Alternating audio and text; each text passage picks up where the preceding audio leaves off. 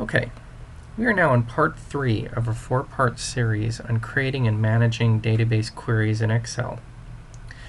In this session, we're going to talk about some of the formulas that we can use in Excel to create, in our example, an aging report using MAS information. Now you've seen that in part two, we pulled information from our AP vendor table, our vendor number and vendor name, and information from our AP Open Invoice table, namely the invoice number, date, invoice due date, invoice amount, and balance.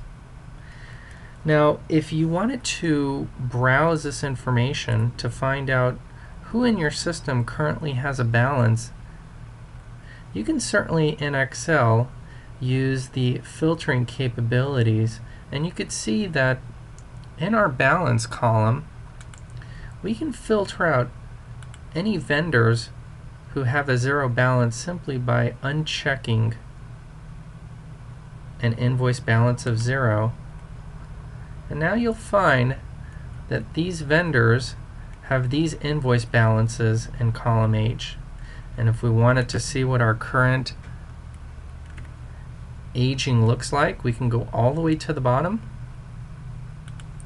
We can hit auto sum and we see that our aging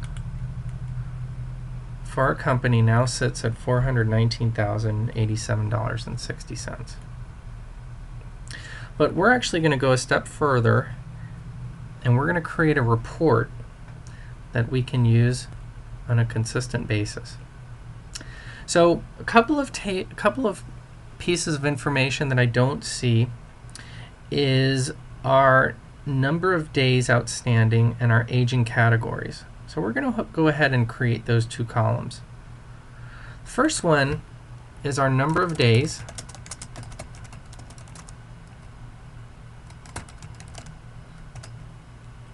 You can see that as I create the column adjacent to our table,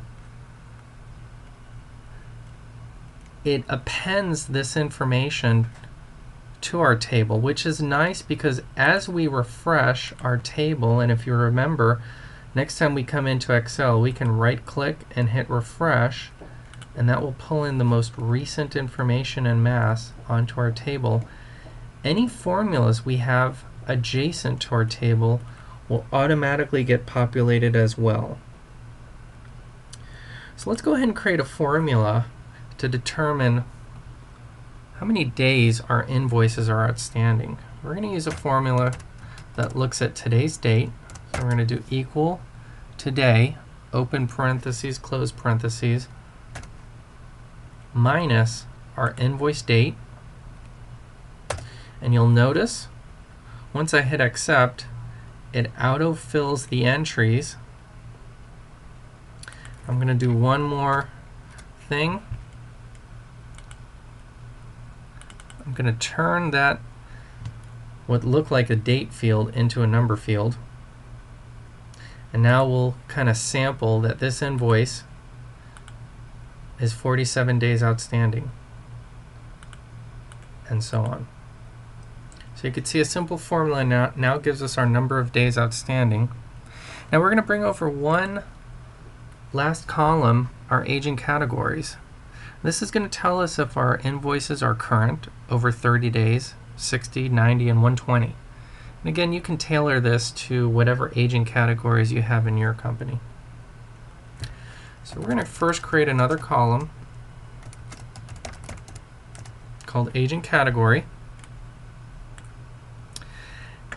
And what I'm going to want to do is I'm going to want to create a table, maybe a lookup table, that looks at these values and returns based on these values if they are current, over 30 days, 60, 90, and 120. So off to the right somewhere, I'm going to create a lookup table. I'm going to call this aging days and aging category. My aging days.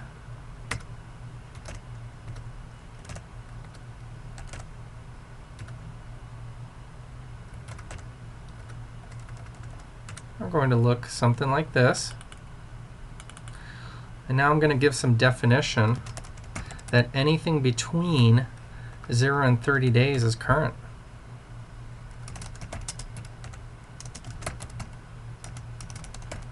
We're going to give some further definition to the other values.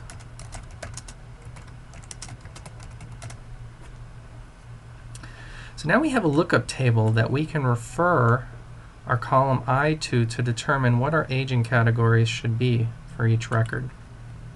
So I'm going to create a formula. It's a VLOOKUP formula. So it's equal VLOOKUP, open parentheses. I'm going to point to the cell right next to it. I'm going to hit comma. I'm now going to refer to the table, my lookup table, and I'm going to lock it. So I'm going to hit F4. So our two dollar signs now lock this table in place. So as our formula gets carried over through the rest of the records, it looks at the, its consistent table. I'm going to now type a comma. I'm going to look for column number two of our lookup table. And I'm going to try and find not the exact match, but the approximate match, because I'm going to have days that aren't exactly 0, 30, 60, 90, 120, but are approximately or in that range. Close parentheses. And you're going to see now how my VLOOKUP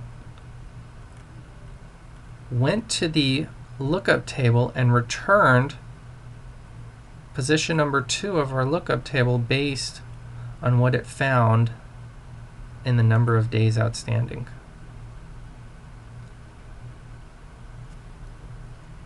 In our next session, we're going to conclude our four-part session by creating a pivot table, which is going to create an aging report using this information.